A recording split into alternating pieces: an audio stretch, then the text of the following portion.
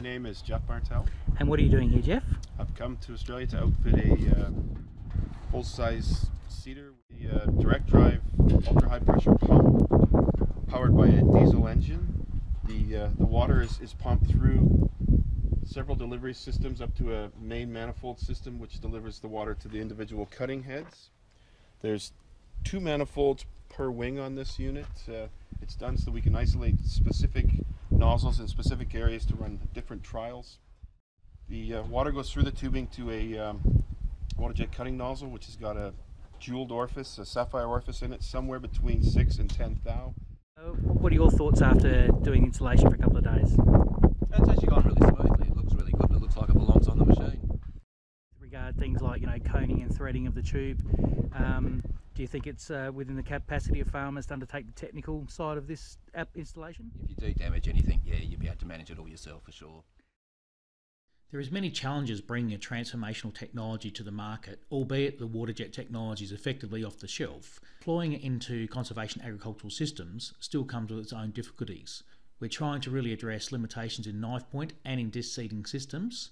Having built this machine now, I do think it uh, provides benefits that simply at times you just can't get out of mechanical devices. And uh, what was your impression today of actually putting seed in the ground with the water jet?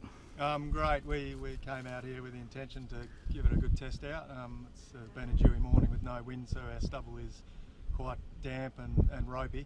Um, where the water jet cutter was engaged, it certainly um, cut through that straw and allowed the disc to penetrate into the soil properly.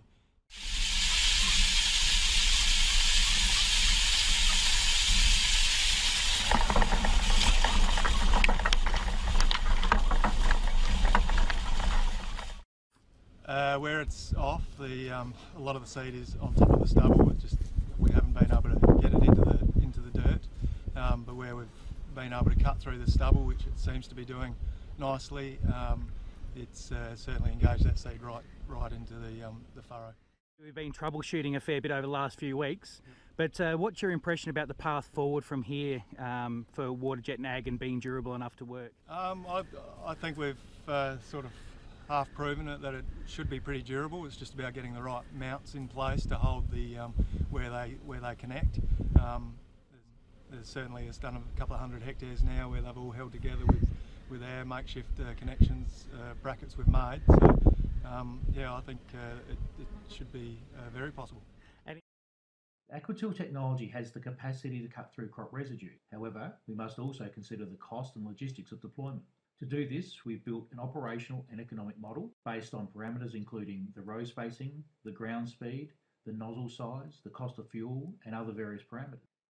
In terms of the different uh, water jets, are you thinking that there's uh, viable mechanisms within the range that would suit your operation in terms of cost and logistics? I think so, yes. I mean, particularly if you can use it as a liquid delivery system as well with uh, nutrients within that stream, um, it makes a lot of sense. All of a sudden, that, that cost is not just for cutting straw. It's this afternoon, I'm in a paddock where we have used the AquaTill technology, uh, doing multiple rows to see what the effect is in trying to seed into wet stubble condition.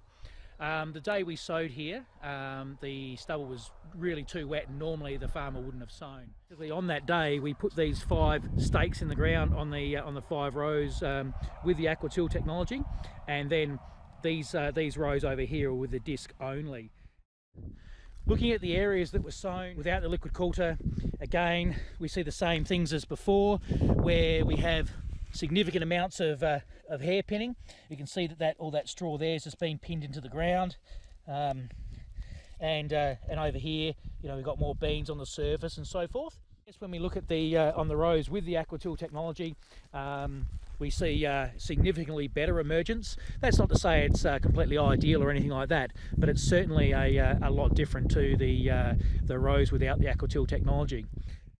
There's still work to be done to optimise the technology and test its durability in the field. However, it's now at a point where machinery manufacturers, researchers, and those that would like to build retrofit kits for existing seeders can get involved.